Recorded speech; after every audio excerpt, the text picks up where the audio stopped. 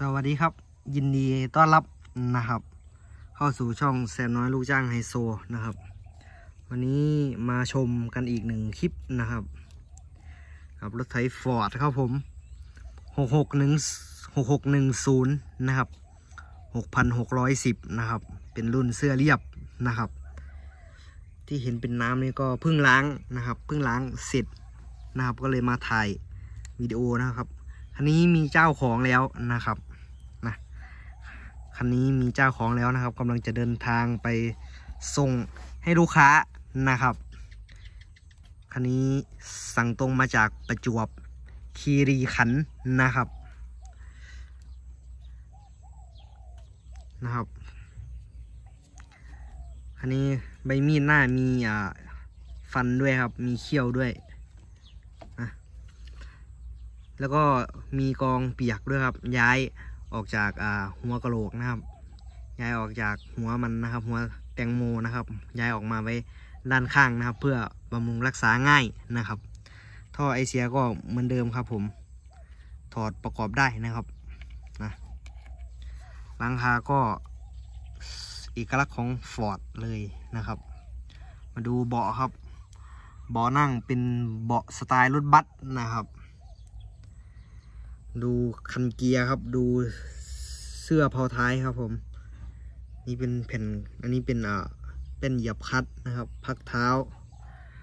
ดูกระทะล้อหลังครับผม ตัวนี้เป็นรุ่นไม่มีเวทถ่วงนะครับกับพานหกนะครับนะพานหกนะครับ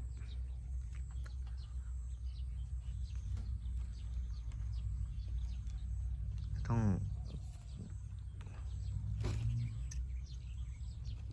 ครับ ขึ้นสุดก็ประมาณนี้นะครับนะ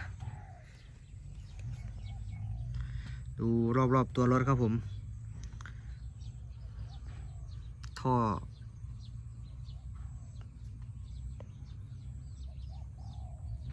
นะครับเป็นเพาเดียวครับผมแล้วก็เลี้ยวได้ครับคันหน้าก็ขยับได้นะครับนะ ก็สไตล์ของ Ford นะครับ ก็สมจริงในระดับหนึ่งนะครับ เรามาดูการขึ้นลงพานหน้านะครับพานหลังนะครับพานหน้าขึ้นก็มีลวดนะครับ ให้เกี่ยวกับชุดโครงใบมีดด้านหน้านะครับ เกี่ยวไว้ประมาณนี้นะครับ จะมีลวดเกี่ยวนะครับ เรามาดูพานหลังนะครับลงก็จะประมาณนี้นะครับผ่านหลังถ้า ลงสุดนะครับ แล้วแขนยกมันจะพับลงนะครับ ให้เราดึงดึงออกมาก่อนนะครับ ดึงออกมาปุ๊บแล้วเราก็ค่อยยกนะครับนะให้เราดึงออกมาก่อนนะครับ ค่อยยก จะประมาณนี้นะครับ การยกค้างนะครับ เมื่อเรายกมาแล้วนะครับ ให้ดันไปทางขวานะครับ มันจะขยับได้นิดหน่อยนะครับ ให้ดันไปทางขวาปุ๊บ ก็จะล็อกเลยนะครับ เพราะว่า ตัวนี้จะล็อกกับอ่า จะเกี่ยวกับอ่าขาบางคนนะครับ ตัวเสริมบางคนให้แข็งนะครับนะตรงนี้นะครับ การเอาลงก็ยกขึ้นนิดนึงครับ แล้วก็ผลักมาด้านซ้ายครับผม ก็ลงประมาณนี้นะครับ ไม่มีลวดเกี่ยวนะครับ เหมือนรุ่นที่แล้วนะครับ ยกขึ้นปุ๊บ แล้วก็ดันมาทางขวาครับ ตัวนี้ก็อัดจาระบีให้เรียบร้อยแล้วนะครับ พร้อมใช้งานเลยนะครับ อัดจาระบีทุกจุดแล้วนะครับ